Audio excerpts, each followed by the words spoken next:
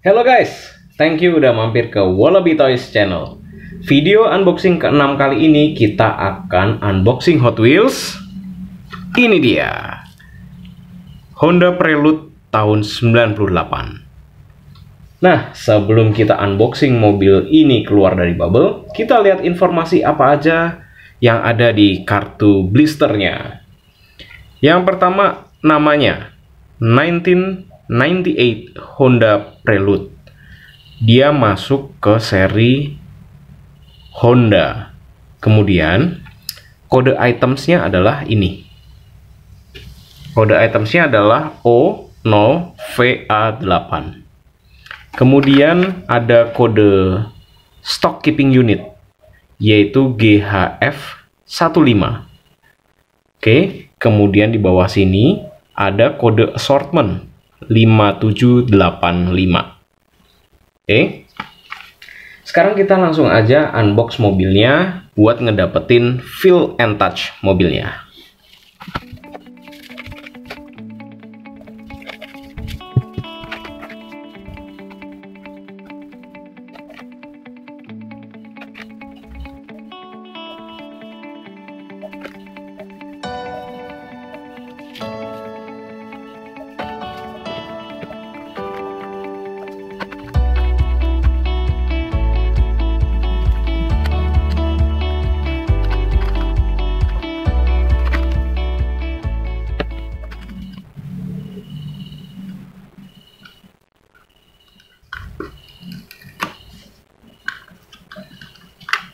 Nah, ini dia teman-teman mobilnya.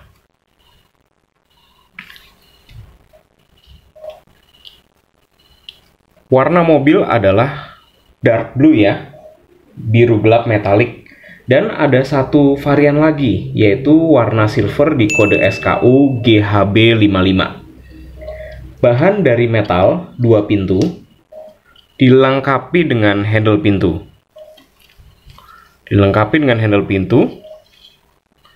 Kemudian spion kanan, spion kiri. Kemudian ada antena belakang model shark fin. Nah, seperti ini antena belakangnya. Kemudian desain grafis. Kalau kita lihat di sini tidak ada desain grafis pada bodi mobil ya. Kecuali ada tampo cetak di logo Honda bagian depan. Nah, ini.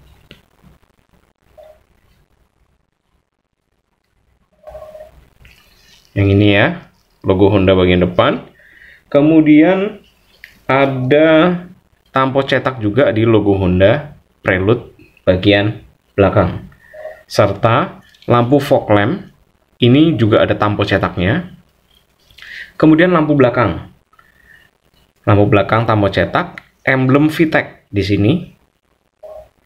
Terus ada plat nomor mobil di bagian belakang. Semuanya tampo cetak Kemudian hal yang keren dari mobil ini adalah teman-teman bisa lihat di sini di lampu depannya. Lampu depan mobil ini sudah menggunakan mika. Tidak sewarna bodi lagi, tapi sudah pakai mika. Wah, ini kalau dipasang lampu keren juga nih ya. Kemudian jendela ya. Jendela ini warnanya adalah transparan tapi agak kehitam-hitaman kalau bahasa Inggrisnya adalah warna black smoke. Ada kaca depan, kaca belakang. Kemudian di sisi penumpang dan di sisi pengemudi ini tidak ada kacanya. Ya. Kemudian kalau teman-teman lihat di sini, di kaca depan ini sudah menggunakan wiper wiper ya. Kemudian di sini juga ada sunroofnya. Wow, keren sekali mobil ini. Kemudian untuk interior, teman-teman bisa lihat di sini bahwa interior ini adalah warnanya hitam. Ya, dengan posisi setir ini unik di sebelah kanan. Bagi kebanyakan Hot Wheel biasanya posisi setirnya adalah di sebelah kiri, tapi ini adalah di sebelah kanan. Ya, kemudian dilengkapi dengan kursi penumpang depan dan dua kursi penumpang di belakang. Untuk ban dan velgnya sendiri, ban ini menggunakan ban plastik warna hitam dengan pelek warna krom bentuk bintang palang 5. Base-nya, base-nya ini adalah plastik berwarna hitam. Buatan Malaysia dengan kode base seperti yang teman-teman bisa lihat sini N30. N30 ini artinya apa? Artinya mobil ini diproduksi itu di tahun 2020, minggu ke-30 atau sekitar tanggal 26 sampai 31 Juli 2020. Pasaran harga ya mobil ini di minimarket itu pasarannya adalah sekitar 26.000 sampai 32.500 rupiah. Nah, sekarang kita ukur tingkat akurasi perbandingan detail anatomi diecast ini dengan mobil benerannya.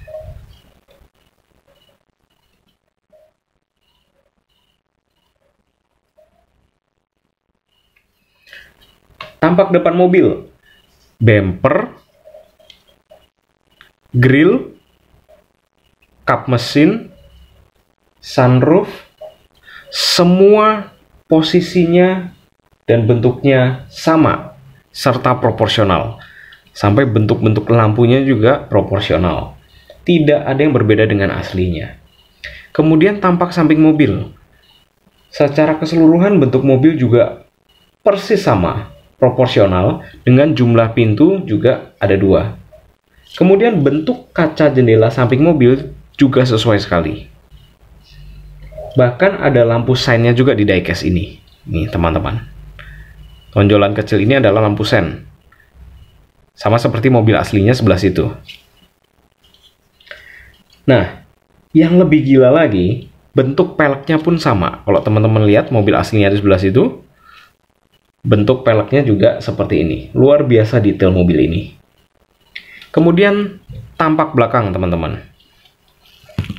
Nah, tampak belakang mobil ini teman-teman bisa lihat. Mirip ya. Bentuk ukuran spoiler, bagasi, lampu, plat nomor, bahkan knalpotnya pun persis sama dan proporsional. Mobil diecast ini nyaris sempurna. Yang kurang cuman kurang warna aja nih di bagian lampu sen ini tadi sayang sekali. Kak coba kalau di sini dikasih warna tampo cetak kuning gitu ya. Wow, 100% detailnya sama persis dengan mobil aslinya. Nah, sekedar info tambahan aja guys. Pesaing mobil ini adalah Toyota Celica, Nissan Silvia, dan Mitsubishi Eclipse. Produksi Honda Prelude ditutup tahun 2001 setelah diperkenalkannya Honda Integra DC5. Nama Prelude itu sendiri pada awalnya adalah merek dagang dari Toyota guys. Tapi diberikan ke Honda untuk digunakan. Kenapa? Karena nama Prelude itu lebih cocok dipakai di Honda. Yang pada saat itu nama mobil Honda bertemakan musik. Seperti Honda Accord, Honda Quintet, Honda Concerto, Honda Jazz, dan Honda Ballad.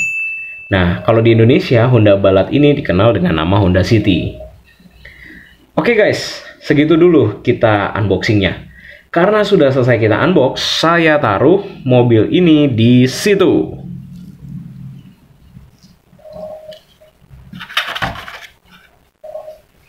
Thank you udah bantuin unboxingnya. Sampai ketemu di video Wallabitas berikutnya. Salam hobi!